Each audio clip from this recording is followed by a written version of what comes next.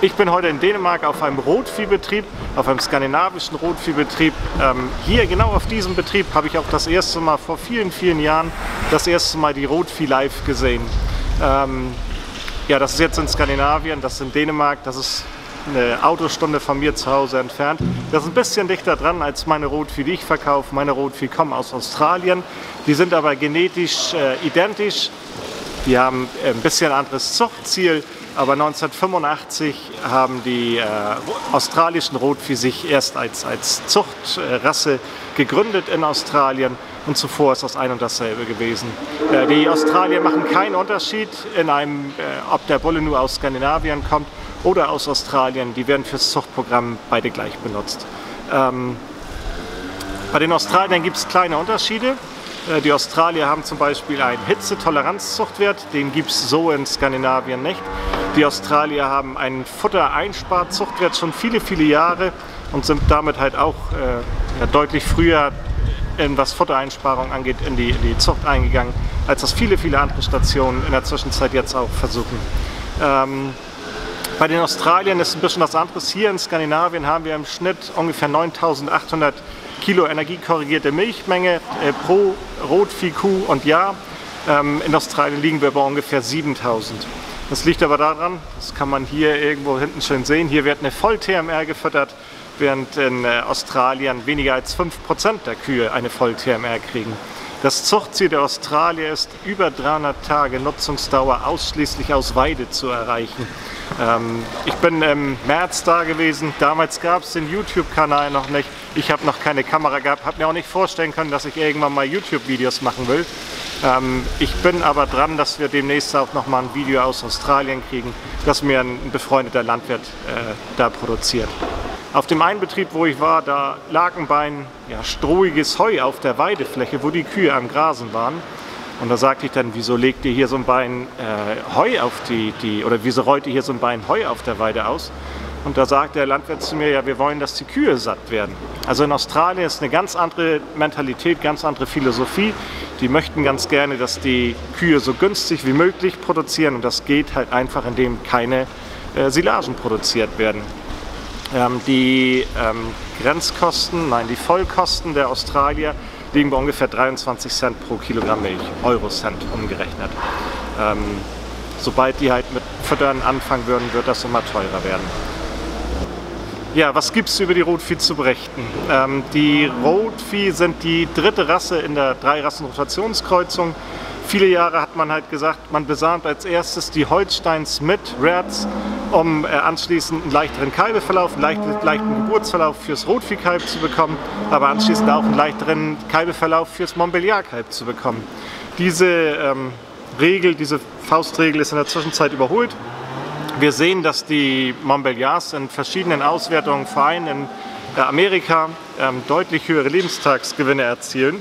Äh, die Montbéliard-Malholsteins-Kreuzung im Vergleich zur Rotvieh-Malholsteins-Kreuzung. Bei der Rotvieh-Malholsteins-Kreuzung kommen wir auf ungefähr 8% mehr Lebenstagsgewinn gegenüber vergleichbar gehaltenen Holsteins. Bei der Montbéliard-Malholsteins-Kreuzung kommen wir aber auf 19% mehr Lebenstagsgewinn. Das kommt äh, zum einen durch die etwas höhere Leistung, die Montbéliards erzielen äh, gegenüber Rotvieh und äh, auch die Nutzungsdauer ist etwas länger. Die Fruchtbarkeit ist etwas besser. Es ist ein Sammelsurium aus vielen verschiedenen Sachen, aber ähm, wir können halt nicht nur mit zwei Rassen kreuzen, weil das geht einmal gut und alles, was danach kommt, geht wieder rückwärts. Deswegen brauchen wir die dritte Rasse und das ist Rotvieh. Die Euterqualität der äh, Rotvieh ist absolut in Ordnung, um die in der Kreuzungszucht einzusetzen. Äh, aufpassen sollte man allerdings darauf, dass man nach Möglichkeit wirklich die besten Euterbullen nimmt, die man finden kann. Und äh, da gibt es ein schönes äh, Beispiel, das habe ich gerade vor einer Weile beim Kunden erlebt, der zu mir gesagt hat, ähm, Udo, warum soll ich eigentlich die australischen Rotvieh einsetzen? Signet als Beispiel mit einem Euterzuchtwert von 106, während ich einen skandinavischen Rotviehbullen kriegen kann mit einem Euterzuchtwert von 125.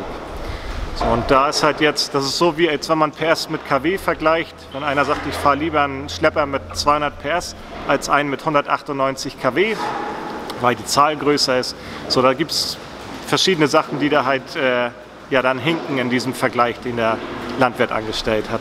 Wenn ich äh, einen skandinavischen Bullen nehmen, dann ist er entweder mit skandinavischen Zuchtwerten oder mit deutschen Zuchtwerten ausgewiesen. Die machen das ganz gerne mal, dass sie das mit deutschen Zuchtwerten ausweisen bei Töchtergeprüften, weil dann halt noch mal mehr Milchmenge dasteht auf dem, auf dem Papier. Ähm, und äh, die Basis ist unterschiedlich. Einmal wird als Basis genommen das, was an Tiermaterial in Skandinavien ist oder das Tiermaterial, was in Australien ist. Und da gibt es auch Unterschiede von der Altersklasse, welche Tiere wirklich miteinander äh, verglichen werden. Und äh, ähm, außerdem haben die die Abstufungen unterschiedlich. Ich kann meine Bullen nicht auf skandinavische Basis umrechnen, aber ich kann, kann die skandinavischen Bullen auf australische Basis umrechnen. Und dieser Bulle, der einen Euterzuchtwert von 120, 125 hatte, ist auf australischer Basis bei 104. Das ist nur die Umrechnung der Vergleich der Tiere. Also dieser Bulle, der 125 hat, hat eigentlich nicht mehr, eher weniger, als der Bulle, der bei mir 106 hat. Die Fruchtbarkeit der, der Rotvieh ist höher als die der, der Holsteins. Und wenn man das in der Kreuzung einsetzt, verbessert sich automatisch auch der Besamungsindex auf dem Betrieb. Was zu beachten ist, wenn man mit äh, Rotvieh im, in der Kreuzungszucht arbeitet, ist, dass wir Bullen raussuchen müssen mit sehr guten Euterqualitäten, äh, Bullen, die Milch mitschleppen und die von der Größe zu den Holsteins passen. Wir dürfen nicht zu kleine Rats mit reinnehmen. Wo auch darauf aufgepasst werden muss, ist, dass äh, verschiedene Zuchtverbände gerne mal einen Montbéliard-Bullen mit reinnehmen, in die Rats reinkreuzen und mit einem, einem Bullen aus zweiter oder dritter Generation dann auf einmal auf den Markt gehen. Diese Bullen sind natürlich für die Reinzucht interessant, um mal frisches Blut reinzubekommen, allerdings für die Kreuzungszucht absolut, absolut schädlich, weil wir auf der einen Seite gerne Montbéliard noch mit reinnehmen wollen in die Kreuzung, dann als dritte Rasse oder schon drin haben. Ähm, diese Bullen überzeugen in der Reinzucht, in ihren Zuchtwerten vor allen Dingen dadurch, dass sie einen Heterosis-Effekt mit reinnehmen, den man aber nicht wieder rausrechnen kann. Deswegen, ähm, wenn da ein Bulle zwischen ist, der einen weißen Kopf hat, äh, lieber die Finger davon lassen ähm, und sich gegebenenfalls auch darüber informieren, wie viel Montbéliard-Blut in einem Ratstier drin steckt.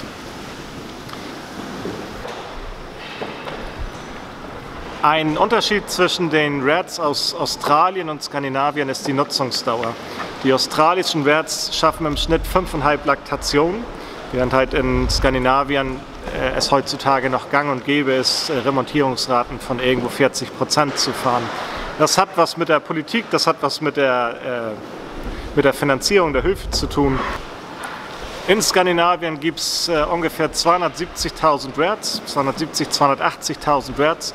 In Australien gibt es ungefähr ähm, 90.000 Rats. In Australien haben die Rats sich äh, absolut bewiesen und überzeugt, gerade dadurch, dass sie nur auf der Weide stehen müssen, weil die halt weniger anfällig sind als die Holsteins, ähm, weil die besser damit auskommen, wenn die Ration, die Ration als äh, Weide nicht äh, optimal ausgelegt ist.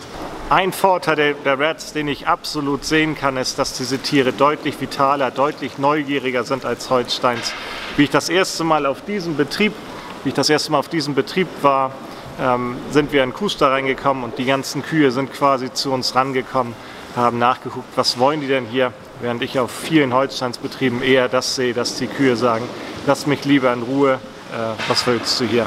Also sehr neugierig, so wie man das von den Holsteins eigentlich eher aus dem Jungviehbereich kennt. Die äh, Bewegung ist äh, aus meiner Sicht deutlich besser. Wir haben eigentlich nur Kühe, die mit dem Kopf wirklich äh, sehr weit oben laufen, während wir bei den Holsteins halt zu viele Kühe haben, die den Kopf sehr weit unten, äh, ja, beim, beim Laufen sehr weit unten haben. Mir hat äh, Mike Osmondson aus Amerika hat mir das dann mal erklärt, warum das so ist. Und das klingt für mich auch schlüssig. Wir haben bei den Holsteins versucht, sehr viel Körpertiefe in, in, dem vorderen, in der vorderen Körperhälfte des Tiers reinzubekommen und haben die Gewichtsverteilung halt verändert in den Holsteins. Äh, wir lagen früher mal bei 60 äh, Prozent auf den Hinterbeinen und 40 Prozent auf den Vorderbeinen und liegen heute bei 50-50. Und dieser sehr tiefe Kopf beim Laufen ist eine Folge daraus, dass die Tiere Rückenschmerzen haben und den Rücken eigentlich entlasten wollen. Also es ist keine natürliche äh, Bewegungsart, wenn der Kopf sehr weit unten ist beim Laufen. Das ist was, was viele Landwirte erst dann sehen, wenn man denen das mal erzählt. Und ich muss auch sagen, ich habe es eigentlich auch erst äh, dann wirklich wahrgenommen, dass das wirklich ein Manko ist, dass das nicht natürlich ist. Ich sagte das vorhin schon mal, wir haben äh, in Australien überwiegend Weidehaltung und ein Landwirt erzählte mir, also die, die höchste äh, Melkstand-Weideentfernung sind ungefähr 2000 Meter und er erzählte mir, dass er halt äh, beim Melken im Karussell sehr gut merken kann, wenn da nur noch wenige Kühe nach sind, weil die letzten Kühe, die bei ihm ins Karussell reinkamen, waren immer die Schwarzbrunnen. Und äh, ein anderer Landwirt erzählte mir etwas Ähnliches, auch wieder die Feldentfernung zum Melkstand ungefähr 2000 Meter, die, die weiteste Feldentfernung. Der erzählte mir, dass seine Tochter ab und zu die Kühe mit dem Pferd reinholt und sie ihn dann auch mal fragte, Papa, ist das normal, dass die letzten Kühe, die wir in der, in im Treiben haben, immer die Holsteins sind? Bei den Reds sieht man außerdem, dass der Schwanzansatz aufgesetzt ist auf dem Becken drauf und nicht im Becken drinne. Das ist eine Problematik, die bei den Holsteins äh, verkannt wird oder nicht angesprochen wird. Ähm, das Problem bei den Holsteins ist, dass wir halt eine gerade Rückenlinie haben wollten, aber ein ansteigendes Becken bekommen haben, um das gute Euter zu tragen. Und äh, ja, einfach den Schwanzansatz ins Becken reingezüchtet haben, um die gerade Rückenlinie zu behalten. In Italien ist vor vielen, vielen Jahren, das kann bestimmt schon zehn Jahre her sein, mal ein Fütterungsversuch gemacht worden, ähm, der eigentlich mehr durch Zufall entstanden ist. Da gab es einen Bestand, der hatte 160 Holsteinstiere und 160 Holsteins mal Red-Tiere in seinem Bestand. Ähm, aber gefüttert haben die nicht 320 Rationen pro Tag, sondern 340 Rationen. Und dann hat sich das ergeben, dass die baulich die Möglichkeiten hatten, die, die Holsteins auf die eine Seite vom Futtertisch zu stellen und die Reds auf die andere Seite vom Futtertisch. Die energiekorrigierte Milchmenge ist bei beiden Gruppen gleich gewesen, aber die haben halt sehr schnell gemerkt, eigentlich schon am zweiten Tag, dass die Reds immer vor dem vollen Trog standen und bei den Holsteins der Trog leer war. Ähm, die Erklärung ist dafür einfach die bessere Futtereffizienz der, der Kreuzungstiere oder der Reds oder halt umgekehrt die schlechtere Futtereffizienz der Holsteins. Die Holsteins fressen mehr, aber machen das nicht zu Milch. Das heißt, diese 20 Rationen, die extra gefüttert worden sind, sind komplett in die Holsteins rein verschwunden, ohne dass da mehr Milchmenge rauskam. Und in der Zwischenzeit gab es ja auch einen Fütterungsversuch in äh, Minnesota, ähm, wo halt herausgefunden wurde, dass die Kreuzungstiere 6,5% weniger Futter fressen gegenüber den reinen Holsteins und damit 0,8% mehr Milch produzieren. Okay, für heute soll es jetzt mal wieder gewesen sein. Ich denke, das Video ist lang genug geworden.